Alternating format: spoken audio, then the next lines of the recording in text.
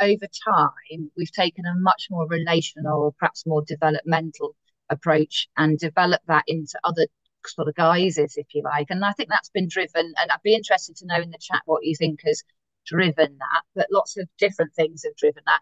But certainly um, a focus on more inclusivity in the workplace, a focus on how we can develop opportunities to create more equity, etc., has developed these other types of these other labels, if like, in terms of mentoring, like reverse, like peer, like reciprocal, etc.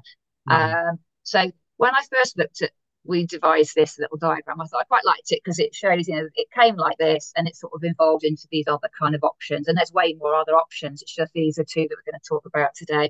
And I guess if you look at it in that sort of timeline way, that sort of makes sense, doesn't it?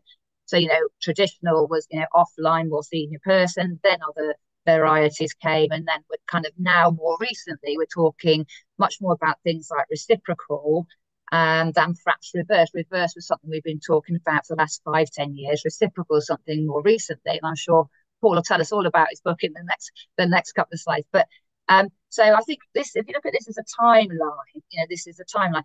But if you look at it in a different way and say one is perhaps a more sponsorship type model, which is a traditional one, and the others are more developmental models, then you could almost see reverse and reciprocal together in a group.